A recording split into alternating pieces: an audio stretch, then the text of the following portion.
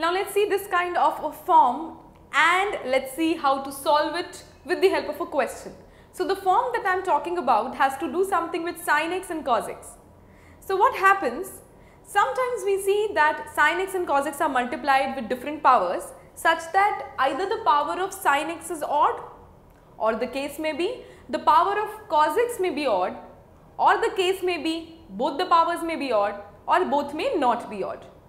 So if I have the case that the power of sin x is odd, in that circumstance I have to solve the question such that I will be putting my cos x is equal to t. So cos I will be putting t. But if I have power of cos x is equal to odd, I will be putting sin x is equal to t. And if both are odd, what to do?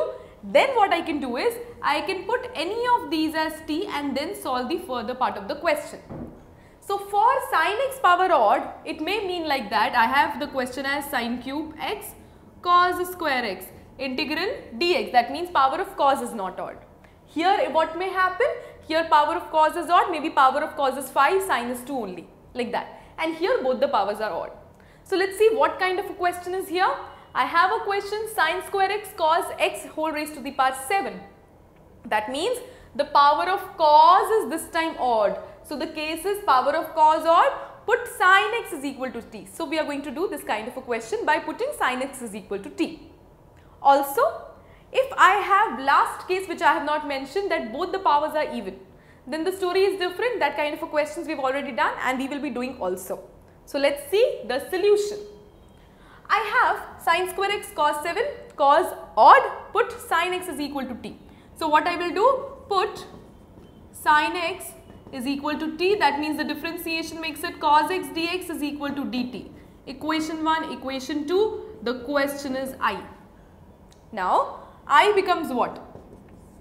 t square because it is sin square cos x whole raised to the power 7 cos x dx cos x dx is dt. So that means cos raised to the power 6x can be separated and then would I would be having dt, right? Now, I have cos raised to the power 6x that can be written as 1 minus sine square x whole cube because it is nothing but what? Cos square then the whole cube and cos square theta is nothing but 1 minus sine square theta. So, that ways and then I have again dt now, I have sine square x again, so it becomes t. So, it is t square 1 minus t square whole cube dt. Let's open up the bracket, the things are very easy now.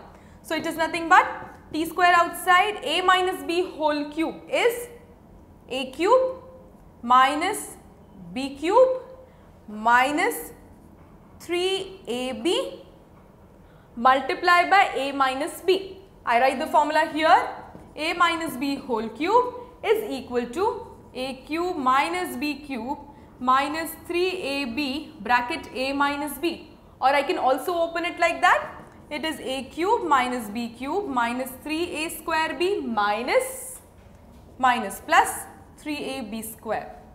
So I can use either of the formulas identities. So here I have a cube minus b cube minus 3 a square b so, a square b plus 3ab square and then dt outside. Now, let me just simply solve it by opening the brackets. I see that it becomes t square integration dt. Then I see it is minus integration t raised to the power 8 dt. Then I see it becomes what? It is nothing but plus.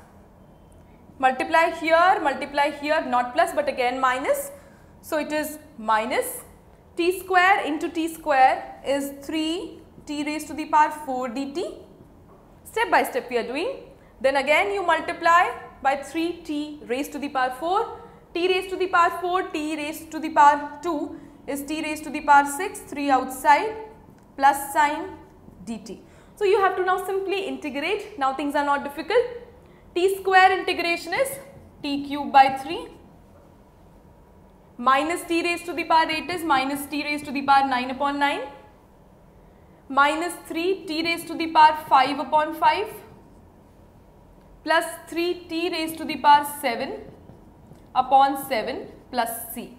Now wherever you had t, you are going to put the same as sine x. So it is sine cube x upon 3 minus sine x whole raised to the power 9 upon 9 minus 3 sine x whole raised to the power 5 upon 5. Next to follow plus 3 sine x whole raised to the power 7 upon 7 and then plus c which is the constant of integration. So the answer I can separate it like that. This is the answer to this question and this is how you do this kind of a question. So the methodology will remain one or the less the same. You have to use the same formula sine square theta plus cos square theta is equal to 1 and rest all comes with the help of practice.